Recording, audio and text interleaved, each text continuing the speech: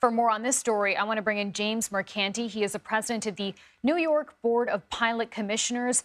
This is a state agency responsible for licensing and regulating boat pilots. He's also a maritime attorney. Thank you for being with us, James. Yeah, good morning, Chanel. Nice to be here. So we can now report, James, the ship lost propulsion before the bridge collapse. Talk to us about what that really means and how a pilot might be trained to react to something like that. Well, what what's going to depend is if when you say loss of propulsion, whether it lost steering and power. If it lost steering and power, then basically it's a dead ship uh, just being carried by the current or its own, own momentum. Uh, I thought it was very interesting that at the, at the last second prior to the impact, you did see a big, big puff of black, real dark black smoke, mm-hmm. which which which could indicate, uh, Chanel, that uh, either power was restored at the last minute and the pilot was attempting to uh, make an emergency maneuver, either by going full astern or by making a hard hard left turn. Uh, you know, and, and, so that that's going to be very interesting to determine whether or not uh, they lost power and steering uh, or um, and whether or not it was restored because uh, we see that we see a lot of loss of propulsions here in New York Harbor, and the crew is usually fighting uh, feverishly uh, in the engine room to restore that power because without that propulsion, you're basically uh, uh, you're just being trying to maintain bare steerage way, and in a narrow you know channel like this. where you could run aground on one side, hit a bridge on the other side, uh, your options are, are very limited. Uh, so uh, that's my observation of what I've seen so far. So, James, based on what we know, and just given the speed and the size of this vessel, was there any other way this could have panned out? Uh, well, one thing that the pilots and the captains are trained to do in a, in a situation like this is is to drop anchor. Mm. Uh, the ship has two the two very huge anchors.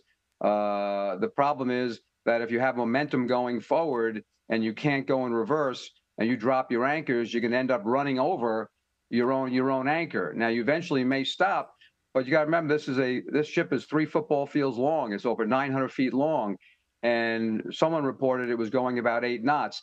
Now eight knots is not a big speed in in, in an open area like that, but um, uh, it, it it would take quite a while, uh, probably the length of you know, five, six football fields to bring that ship to a stop, even after dropping the anchors, because of its if it, its power and momentum. this is a behemoth. This is three football fields long. So, particularly, that's the only recourse that the pilots or the captains have is to drop their anchors. And I imagine if they didn't do that here, we don't know. We haven't heard any reports on that.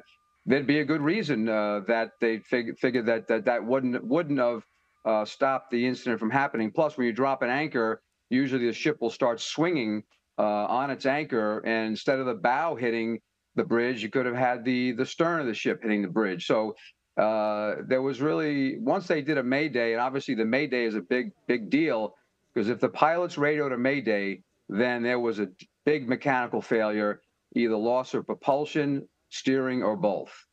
And James, I don't know if we have the answer to this question, but I'll ask it anyway. Just given where we saw the ship had that moment where the lights were flickering. And then where we saw that it actually hit the column and the bridge came down. In your assessment and your in your experience would there have been time to put that anchor down?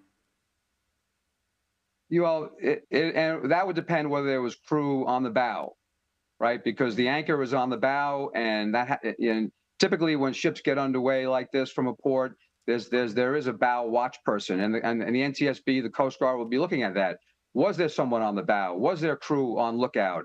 And if there is an emergency, they should be ready to deploy their anchors uh, in in a second's notice. I mean, the the the, the pilot or the captain radios the bridge, uh, excuse me, radios the bow.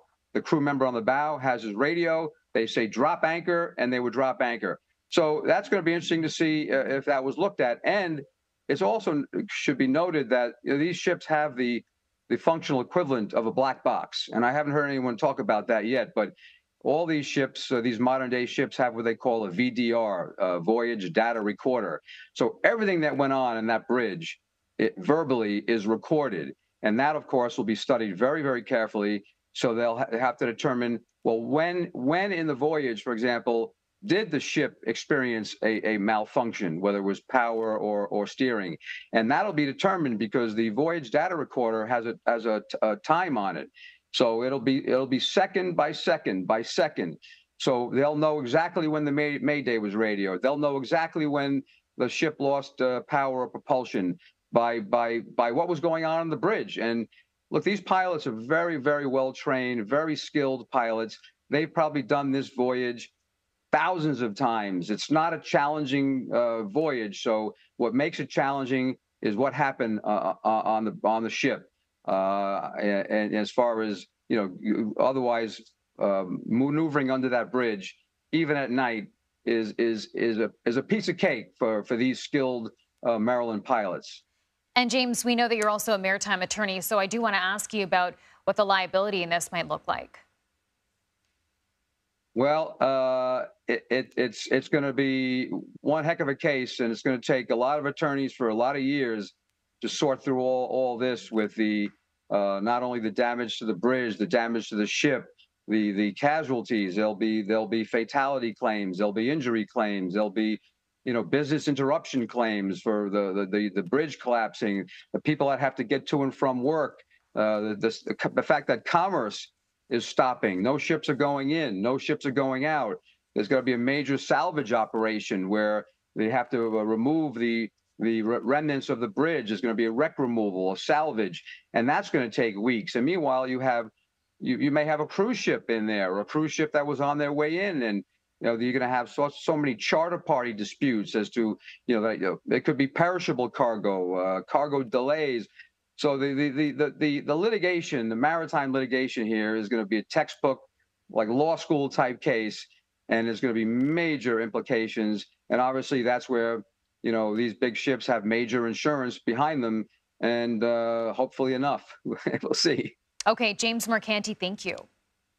Thank you.